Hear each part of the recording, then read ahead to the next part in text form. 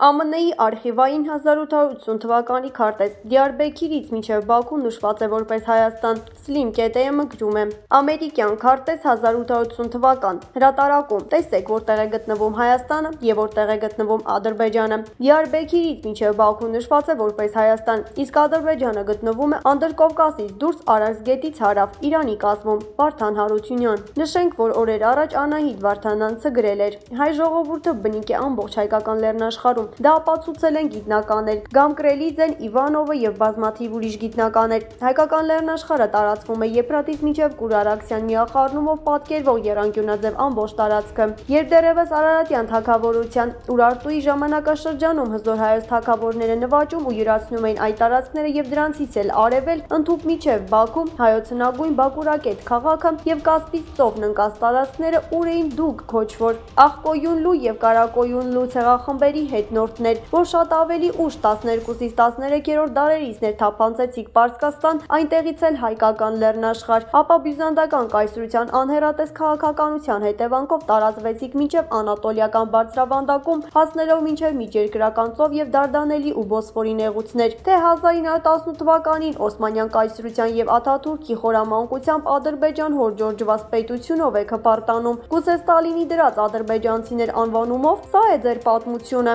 Եթե սա է, ուրեմն մեր գյուղերում լեռների լանջերին պատասպարված ամենափոքր մամուրն անգամ ձեզնից ավելի հին պատմություն ունի։